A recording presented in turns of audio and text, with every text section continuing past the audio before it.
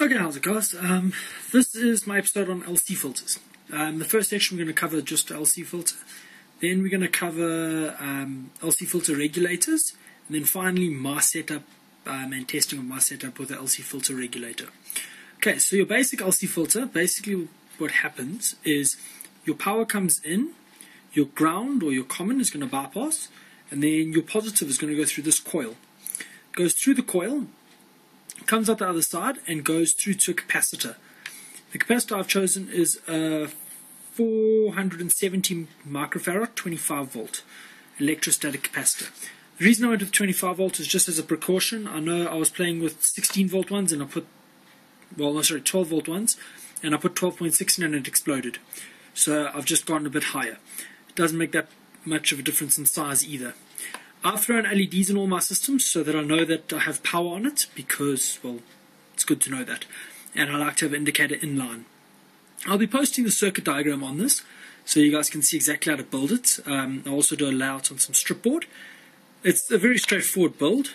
Um, I added a bit of hot glue so nothing shorts. But, um, okay, so my LC filter um, with my setup. I got it backwards, okay. Okay, with my LC filter build, what's going to happen is over here, you're going to have your, um, okay, yeah, your negative in, your positive in. Positive in is going to go to here, then it's going to go through the coil, and it's going to come out on this side. Oop, this side over here. From here, you're going to go to your capacitor's positive lead. Also, with the resistor, you're going to jump to the middle, where you're going to have had to break uh, break the leads over there over there. Use the drill bit to do that. Okay, then the ground is going to just run straight through way to the end. You're going to bridge it over here to the center pin so that your positive comes from that positive, negative. And that's basically the LC filter. It's very straightforward, easy build. Uh, okay guys, um, this over here is my custom setup. I've shown you guys how to make the LC filter um, with the LED indicator. This still got to get an LED put into it, but this is specific to my setup. I've got a um, LM7809 in here, so it's going to regulate me to 9 volts. The reason I'm going to 9 volts is that my system takes 12 but it'll run on 5. So I want to run it on a higher voltage, but I don't want to run it over 12 with my 3S LiPo. So this is going to drop me to 9 volts, and when my voltage of my LiPo drops to about think it's 9.6, it's then going to drop out, it's going to bypass. And when it bypasses, it's then going to go to 9.6 volts and it's going to do no damage to my system. So what I've done is I've got the bottom here, I've got a servo extension plug, which goes through this uh, coil, there's my LC filter. Then it feeds into the input, which has a capacitor, which you can barely see, on the side there, to filter my input. Goes through my chip and out to the slightly larger capacitor. Um, and then I've got that plug for my um, for my actual FPV system, and that's going to plug straight in and keep it nice and compact.